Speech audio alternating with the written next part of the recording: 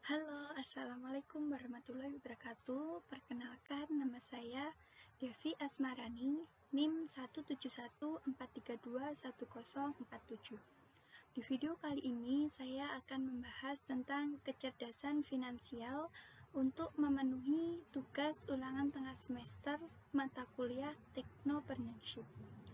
Baik, langsung saja uh, yang akan saya bahas yaitu satu goal setting, kemudian yang kedua ada learning leader, yang ketiga ABC sukses, yang keempat aset dan beban, yang kelima ada cash flow arus kas, kemudian ada cash flow kuadran, dan yang terakhir ada roadmap saya. Pembahasan yang pertama yaitu goal setting. Apa itu goal setting? Goal setting adalah proses menetapkan sasaran bagi diri kita. Goals yang lebih terinci dan berada di bawah kendali kita cenderung memunculkan usaha yang lebih besar daripada goals yang bersifat lebih umum. Manfaat goal setting adalah satu, goals akan mendayagunakan kemampuan Kemudian, goals membuat kita tetap termotivasi dalam hidup. Lalu, goals membuat apa yang kita pelajari bisa dipraktikkan. Kemudian, yang terakhir, goals akan membuat Anda terfokus untuk mempelajari ilmu. Nah, bagaimana cara melakukan goal setting? Sini ada beberapa caranya. Yang pertama, set goals. Uh, artinya tetapkan mimpimu atau tetapkan tujuanmu. Memiliki tujuan hidup bisa dengan sangat sederhana. Contohnya seperti saya tahun ini uh, harus lulus kuliah Uh, dengan menetapkan tujuan seperti uh, contoh saya tadi akan memberikan kita visi jangka panjang dan juga motivasi jangka pendek. Karena kita tahu bahwa setiap aksi yang kita lakukan akan membawa kita menuju suatu tujuan yang mulia dalam kehidupan kita. Kemudian, make plan buatlah target atau goals Anda tertulis. Tulisan fisik membuat target menjadi lebih nyata, sehingga kita tidak mudah melupakannya. Dan gunakan kata yang lebih pasti seperti harus. Contohnya, saya harus menyelesaikan kuliah saya tahun ini dengan belajar 4 jam setiap hari di luar kelas. Dan tulisan ini bisa diletakkan di tempat yang selalu dapat kita lihat sehingga kita dapat memberikan semangat setiap harinya. Kemudian yang ketiga, get a work. Ya, artinya buatlah action plan, buatlah uh, action tentang Gusmi itu. Seringkali kita hanya semangat dalam membuat tujuan akhir sehingga lupa untuk menetapkan langkah-langkah yang harus dilakukan sepanjang perjalanannya. Padahal justru langkah-langkah kecillah yang menentukan kita menjadi uh, menuju hasil yang besar. Kemudian stick to it. Stick to it uh, di sini berarti tetaplah berjuang pada tujuan. Dalam perjalanan menuju tujuan kita sudah pasti terdapat banyak rintangan. Tetapi perlu diketahui kalau rintangan tersebut jauh lebih kecil daripada tujuan yang telah kita pegang teguh sejak awal. Uh, tetap berjuang pada tujuan kita, kita perlu melakukan reward pada uh, diri kita sendiri. Adapun uh, tips-tipsnya adalah sebagai berikut. Satu, berikan diri Anda reward untuk setiap pencapaian yang sudah Anda lakukan. Kemudian bergaul dengan orang-orang yang menghargai mimpi Anda. Tiga, membaca buku motivasi untuk memberikan semangat kepada diri Anda. Yang keempat, berdoa kepada Tuhan agar ia selalu menyertai di setiap perjalanan langkah Anda. Kemudian, uh, mimpimu akan tercapai. Pembahasan yang kedua ada learning leader.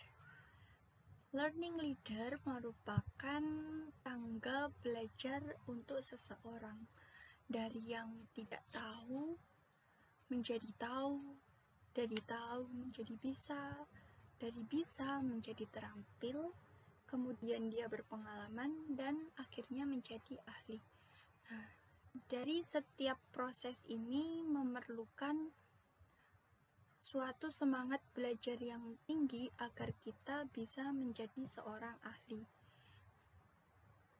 Kemudian pembahasan yang ketiga adalah ABC sukses. Get sukses dengan tiga cara dasar. Satu, A. Mindset. Mindset adalah pola pikir atau kebiasaan berpikir dalam suatu bidang yang mana pola pikir ini dibentuk dari beberapa kepercayaan di dalam pikiran kita. Misalnya, jika saya tidak minum kopi di pagi hari, kepala saya akan terasa pusing. Kebetulan di pagi itu uh, saya tidak minum kopi dan akhirnya kepala saya menjadi pusing. Nah, untuk menjadi sukses diperlukan mindset yang jelas. Bagaimana cara mengubah mindset yang jelas? Banyak faktor yang dapat mengubah mindset seseorang entah dari lingkungan, keluarga, ataupun makanan. Ada slogan yang berkata new mindset, new result, yang artinya pemikiran yang baru akan menjadikan keputusan yang baru juga. Mindset sukses dan sangat dibutuhkan untuk mencapai impian sukses. Mindset sukses dapat dikembangkan dan dilatih asalkan mempunyai pikiran terbuka dan bersedia menerima diri dengan pikiran yang baru. Kemudian yang kedua ada praktis. Setelah kita mendapatkan mindset sukses, kita perlu mempraktikkan hmm, mindset tersebut agar kita bisa sukses. Tentunya dengan knowledge Nah, jika Anda terjun pada dunia bisnis, tambahlah pengetahuanmu dengan membaca uh, bidang bisnis atau bergaul dengan seorang pebisnis yang sukses. Itu dapat mempengaruhi mindset dan uh, cara praktik Anda untuk menjadi sukses. Kemudian pembahasan yang keempat adalah aset dan beban. Aset adalah segala sesuatu milik kita yang bisa memasukkan uang ke dalam kantong kita. Seperti saham, deposito, surat berharga, kos-kosan, lahan produktif, dan lain-lain. Sedangkan kebalikan dari aset yaitu beban, adalah segala sesuatu yang menyebabkan kita harus mengeluarkan uang. Contoh dari beban adalah misalnya rumah yang kita tinggali atau mobil yang kita pakai. Dalam setiap uh, bulannya mobil kita mengeluarkan uang untuk kebutuhan seperti bahan bakar, uh, perawat mobil. Oleh karena itu, mobil bisa disebut dengan beban. Kemudian pembahasan yang kelima yaitu cash flow atau arus kas. Nah, di sini ada tiga cash flow yaitu satu cash flow orang miskin, kedua cash flow orang menengah, dan yang ketiga adalah cash flow orang kaya. Yang saya bahas yang pertama adalah cash flow orang miskin. Cash flow orang miskin ini mempunyai dua ciri, yaitu penghasilannya berasal dari pekerjaan atau penghasilan aktif. Yang kedua, setiap bulan habis untuk kebutuhan. Seperti uh, diagram saya ini. Uh, cash flow orang miskin mempunyai pemasukan, kemudian pengeluarannya berupa kebutuhan uh, mereka dalam satu bulan dan itu tidak tersisa atau habis. Yang kedua, ada cash flow orang menengah. Berbeda dengan cash flow orang miskin, cash flow orang menengah ini mempunyai ciri satu, penghasilannya diperoleh dari pekerjaan atau penghasilan aktif. Yang kedua, penghasilannya lebih besar dibandingkan biaya hidup bulanannya atau kebutuhannya setiap bulan. Kemudian yang ketiga, ke kelebihan penghasilan biasanya diberikan beban bukan aset. Pemilik arus kas kelas menengah ini sering kali jatuh lagi ke arus kas orang miskin akibat beban yang terus bertambah. Kelebihan penghasilannya sering kali dibelikan beban, sehingga semakin lama beban hidupnya semakin tinggi. Jika penghasilannya tidak naik, maka arus kasnya menjadi arus kas orang miskin kembali. Kemudian cash flow yang ketiga yaitu cash flow orang kaya. Cash flow orang kaya ini hanya punya satu ciri, yaitu penghasilannya dari hasil aset, bukan dari pekerjaan.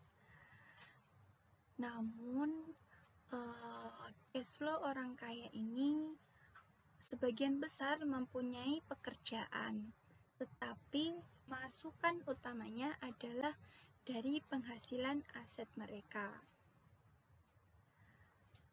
Lalu pembahasan yang keenam adalah cash flow kuadran. Di cash flow kuadran uh, ini ada kuadran I atau employee. Di kuadran E merupakan kuadran dari kelompok orang yang bekerja sebagai seorang karyawan. Biasanya, orang-orang yang terdapat di dalam kuadran ini lebih memperhatikan aspek kepastian dan jaminan dalam mencari sebuah pekerjaan. Kemudian, kuadran yang kedua adalah kuadran S. Di kuadran S merupakan kuadran dari kelompok orang yang memiliki usaha kecil dan kegiatan operasi perusahaan dijalankan oleh mereka sendiri. Jadi, orang-orang di kuadran ini mendapatkan pendapatan sebesar usaha atau kerja keras yang mereka lakukan. Lalu ada kuadran B atau business owner.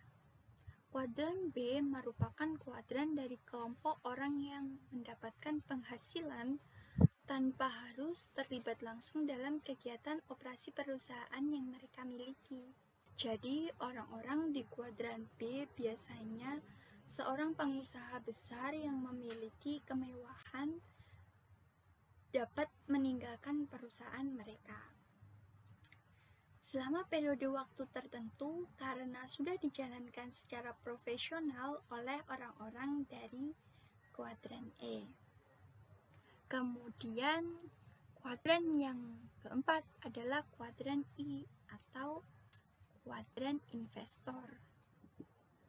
Kuadran I merupakan kuadran dari kelompok orang yang mendapatkan penghasilan dari hasil investasi di suatu perusahaan. Mirip dengan kuadran B, orang-orang di kuadran I tak perlu terlibat langsung dalam kegiatan operasi suatu perusahaan yang mereka investasikan. Lanjut, pembahasan yang ketujuh yaitu roadmap saya Kuadran cash flow saya saat ini adalah sebagai penjelasan tentang kecerdasan finansial dari saya untuk memenuhi tugas ulangan tengah semester mata kuliah Technopreneurship. Uh, sekian dari saya. Bila ada kata-kata yang saya yang salah, saya mohon maaf.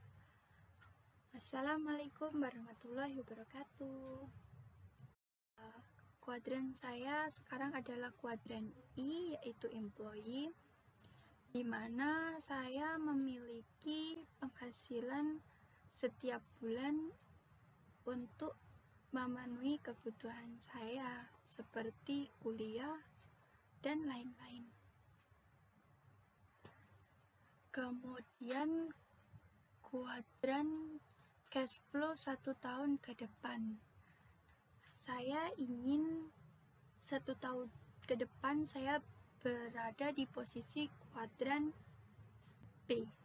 Kenapa? Karena uh, menurut saya di kuadran B itu akan lebih baik daripada di kuadran E karena lebih baik memberikan peluang uh, kerja kepada orang lain kuadran cash flow untuk lima tahun ke depan. Uh, saya ingin berada di posisi I yaitu investor. Kenapa? Karena saya sangat tertarik dengan dunia investasi berupa saham.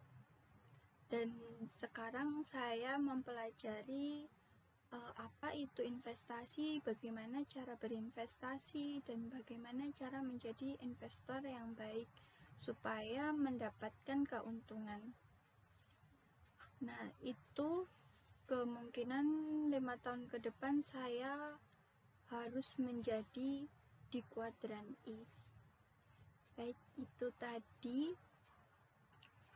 uh, penjelasan tentang kecerdasan finansial dari saya untuk memenuhi tugas ulangan tengah semester mata kuliah Technopreneurship. Uh, sekian dari saya. Bila ada kata-kata yang saya yang salah, saya mohon maaf. Wassalamualaikum warahmatullahi wabarakatuh.